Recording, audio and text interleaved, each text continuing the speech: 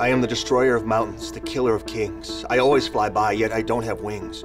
I can end basketball games or marriages with similar ease, and though I flow like a stream, only water can freeze. I've murdered parents and children and houseplants galore. Yet despite all this, you always want more. Who am I? I'm Danny Boffa, amateur riddle writer, former father, and inventor of the Broom Shakalaka.